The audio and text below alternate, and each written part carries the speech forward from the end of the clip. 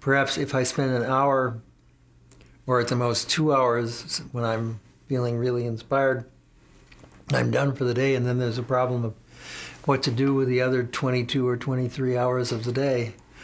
I feel I should be doing something important, but uh, what?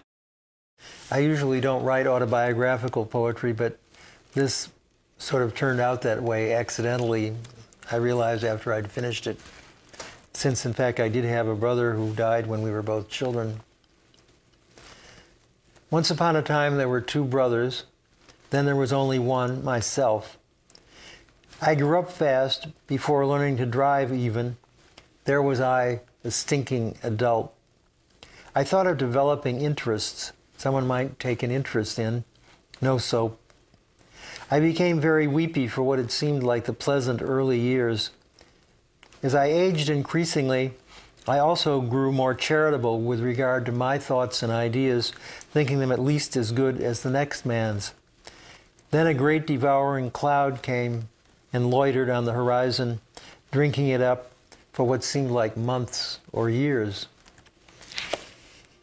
I had always wanted to go to France ever since I was a child and read French fairy tales and writers like Balzac and Proust. It was just the thing I always wanted to do and ended up doing. It took me a while to adjust to being in a country where a foreign language was spoken. Uh, my own poetry derives very much from hearing colloquial or even worse, American being spoken around me, especially in New York, where over here, strange things being said, and I often incorporate them into poems.